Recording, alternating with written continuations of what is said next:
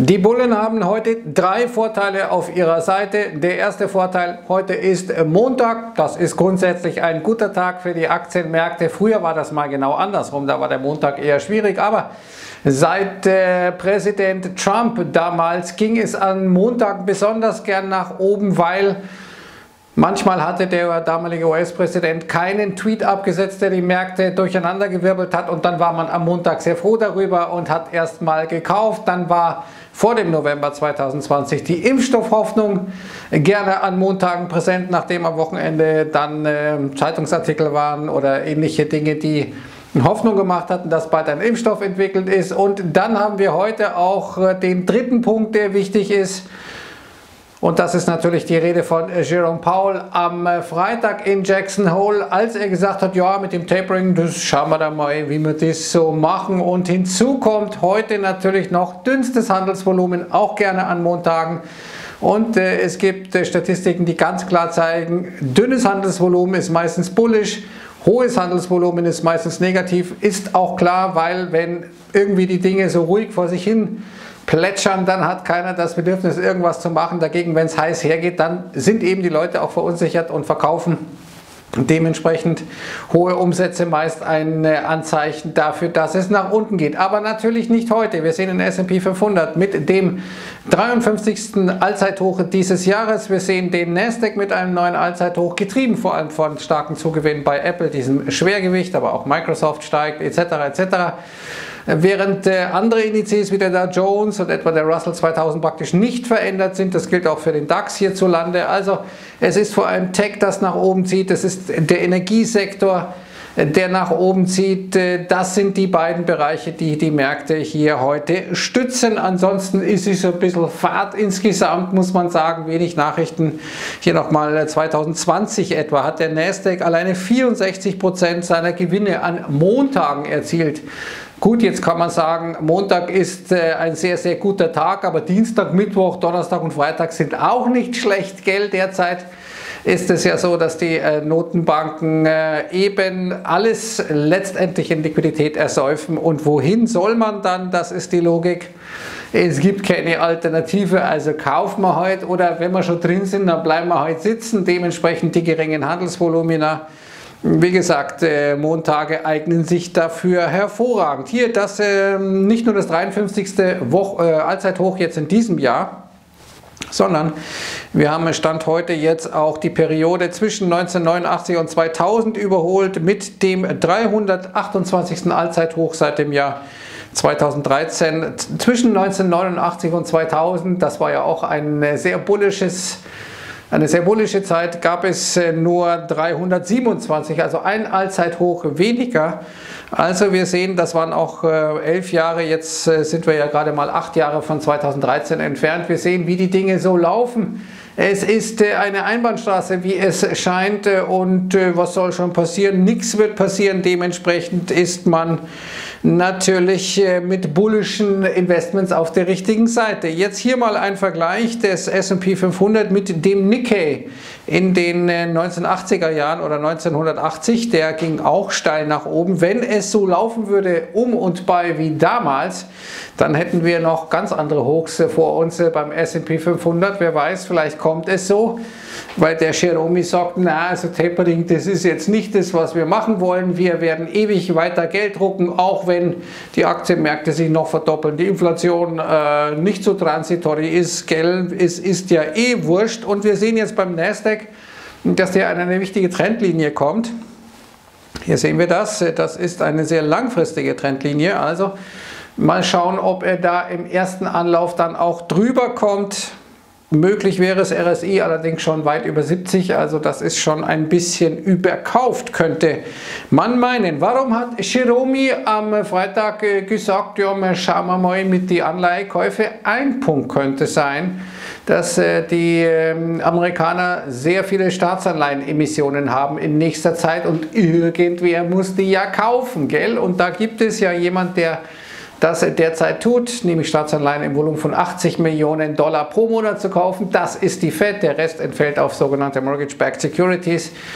hypothekenbesicherte Anleihen, die dann die US-Hausblase noch richtig schön aufblasen. Und jetzt kommen wir allerdings an den Punkt, wo langsam die Schuldenobergrenze erreicht wird. Noch wird das Ganze ja in den USA bedient aus einem Konto des Finanzministeriums bei der Fed, das man als Vorsorge, als äh, Notfallmaßnahmen angelegt hat in Sachen Corona-Krise. Dann musste man gar nicht so viele Mittel abrufen. Davon zehrt man jetzt noch. Deswegen könnte diese Schuldenobergrenze September, Oktober wahrscheinlich erreicht werden. Und jetzt haben justament 100 äh, ähm, Republikaner im Abgeordnetenhaus gesagt, hm, also hier mit der Anhebung des Debt Ceiling, also der Schuldenobergrenze, das machen wir nicht.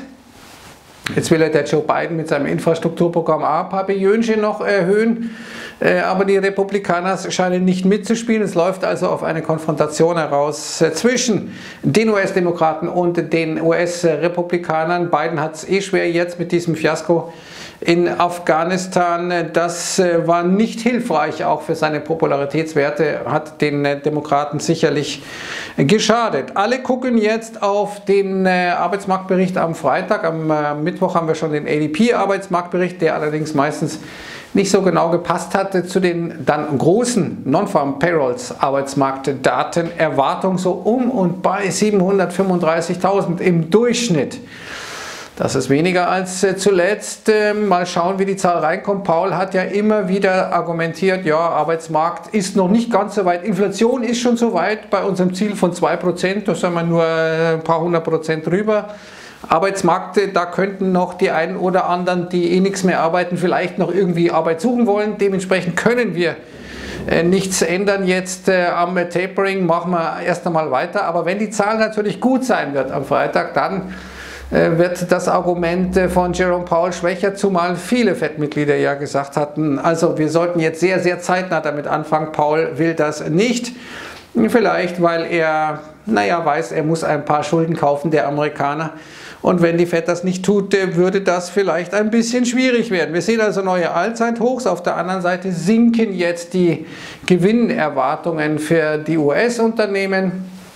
Wir haben wahrscheinlich Peak äh, Earnings Growth inzwischen gesehen. Besser wird es nicht. Es ist so viel Geld reingespült worden durch Stimulus, Shakes, durch Notenbank. Äh, viel mehr kann nicht es sein. Dementsprechend haben viele äh, konsumiert ohne Ende, haben damit Geld in die Kassen der Unternehmen gespült. Das Ganze scheint sich jetzt aber umzudrehen, wie ein äh, Earnings per Share Model der Bank of America zeigt. Das wird also schwieriger und es äh, ist derzeit so, dass wir historisch gesehen eine extrem niedrige Earnings Yield haben, also Gewinnrendite, die liegt derzeit bei 2,8 Prozent mit der tiefste Stand der Geschichte. Jetzt äh, ist dieser Chart, der könnte ja bärisch wirken, gell, äh, weil man zeigt, dass dann in den nächsten drei Jahren durchschnittlich die Performance bei minus 53 Prozent lag an den Aktienmärkten der Wall Street. Gut, ne, also es ist so, dass Bewertungen scheinbar halt auch keine Rolle mehr spielt. Solange alles in Liquidität ersäuft wird, ist eh alles egal. Da muss man sich an ein ganz anderes Bewertungsniveau ähm, gewöhnen. Das sagen viele, das sagt ein Jürgen Elsässer, das sagt äh, ein Herrn Vordran ähm, den manche vielleicht auch kennen. Der sagt ja also Bewertungen, das ist eine Kategorie von gestern angesichts der Situation. Okay, aber was ist jetzt, wenn wirklich mal die Fett tapern würde? Dann würde ja die Fettbilanz nicht kleiner, sondern weiter wachsen, aber sie würde eben weniger schnell wachsen, bis dann möglicherweise das ganze Tapering abgeschlossen ist, also keine Anleihen mehr gekauft werden. Und dann wäre es ein komplett neues Spiel, das da der Fall wäre. Aber noch sind wir nicht so weit und wir sehen, wenn wir jetzt mal nach Deutschland switchen, Heute die Inflationsdaten HVPI 3,9 Prozent. Das ist der höchste Stand seit vielen, vielen, vielen Jahren. Und Holger Cipitz zeigt, dass die Bundesbank endgültig tot ist, weil die EZB alles andere tut als weiter Geld zu drucken oder sie druckt weiter Geld, alles andere tut, als über, zu überlegen, wie die Fed möglicherweise die Anleihekäufe zu reduzieren. Damals, als wir eine Inflation von 3,9 Prozent hatten, das war nach der Finanzkrise. Da war es so, dass der Leitzinssatz noch bei 6% stand, das ist jetzt ein bisschen vorbei. Das Geld entwertet sich also. Dennoch wird immer weniger über Inflation geschrieben. Das gilt zumindest für amerikanische Medien. Hier sehen wir, da gab es einen richtigen Hochpunkt. Inzwischen ist das eher unterdurchschnittlich. Also man fürchtet nicht mehr so wirklich Inflation. Bisher gibt es keinen Beleg, das nicht mehr fürchten zu müssen. Wir sehen aber auf der anderen Seite, dass die ähm, Inflationserwartungen, die ähm, praktisch auch gehandelt werden können, nicht wirklich nach oben schießen. Wir sehen, dass die Zinskurve relativ flach bleibt. Also irgendwie scheinen die Märkte nicht anzunehmen, dass die Inflation dauerhaft ist, zu Recht oder nicht zu Recht. Das muss man abwarten. Jedenfalls das Thema Inflation in den USA immerhin nicht mehr so en vogue. Und das kann vielleicht auch daran liegen, dass man, äh, dass die Märkte genauer gesagt damit rechnen, dass eben die Wirtschaft jetzt nachlässt, sich abkühlt. Wir sehen das hier in Deutschland etwa durch den OECD GDP-Tracker, der zeigte, dass wir einen kurzen, heftigen Aufschwung hatten im Frühling oder im Spätwinter, März, Februar, März um den Dreh und seitdem ähm, ja, ebbt das so ein bisschen ab. Also da ist nicht mehr so wahnsinnig viel der Fall. Jetzt muss man sehen, wie die ganze Corona-Geschichte weitergeht. 2G äh, haben wir ja hier in Hamburg. Man kann also äh, mit äh, Impfnachweis in irgendeiner Form unbegrenzt wieder ähm, Dienstleistungen anbieten. Das äh, könnte helfen. Andere kommen dann nicht mehr rein in diesem 2G-Modell. Das ist äh, das Problematische an dieser Geschichte und könnte auch konsumdämpfend sein. Wir werden sehen, wie sich das Ganze auswirkt. Und jedenfalls sehen wir eine Auswirkung schon in der neuesten INSA-Umfrage, die allerdings das gestrige Triell, wie das neue deutsche Wort heißt, also dieses du nicht Duell, sondern ähm, diese Befragung, diese Runde mit Laschet, mit Baerbock, mit äh, Scholzomat, äh, das war noch davor, diese Umfrage. Und in dieser Umfrage liegt die SPD bei 25 Prozent, die CDU, CSU bei 20 Prozent. Die Grünen nur noch bei 16,5 Prozent, die FDP holt auf, nur noch 3 Prozent von äh, den Grünen entfernt. Und so was die allgemeine Wahrnehmung und auch die Umfragen nach dieser Fernsehsendung, nach diesem ähm, Format gestern mit den Kanzlerkandidaten gebracht hat, scheint auch Laschet da nicht unbedingt profitieren zu können. Also das äh, läuft ein bisschen darauf hinaus, dass äh, Scholzomat der nächste Kanzler wird. Oh Gott. Das ist dann äh, die völlige Abwesenheit von Humor auf der anderen Seite und auf der einen Seite auf der, und auf der anderen Seite äh, auch die völlige Abwesenheit in Sachen Erinnerung, gell? Wir äh, denken mal an Wirecard, äh, an Warburg äh, und Cum-Ex und solche Geschichten, an die sich der Olaf überhaupt nicht mehr erinnern kann, gell? Ja gut, ne, jeder hat einmal Erinnerungslücken, besonders dann, wenn es unangenehm ist, gell? dann löscht man die halt von der Festplatte und der Olaf ist da besonders begabt. Also es könnte sein, dass der Scholzomat, äh, den ich aus Altona noch kenne, ist mir immer wieder beim Joggen begegnet. Also er ist gejoggt, ich bin äh, einfach nur gegangen, gell? aber da kam er dann ohne Leibwächter und ist äh, an mir vorbeigejoggt und ich habe mir gedacht, mein, was schaut der so angestrengt aus? Gell? Aber der schaut auch, wenn er nicht läuft, sehr angestrengt aus, weil er immer so verkniffen ist. Ne? Aber gut, ne, äh, die Deutschen scheinen ihn zu wollen. Äh, das Gruselkabinett um ihn herum, gell, Esken und Konsorten, das kaufst du dann mit ein, aber die sind derzeit ja auch besonders still.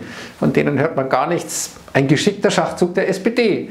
Wahlkampfstrategie, das muss man schon sagen. Also, es ist ein ruhiger Montag, äh, es ist ein umsatzdünner Montag und es ist ein bullischer Montag. Ja, was soll am Montag schon anders passieren, nicht wahr? Also dementsprechend sage ich Servus und Ciao.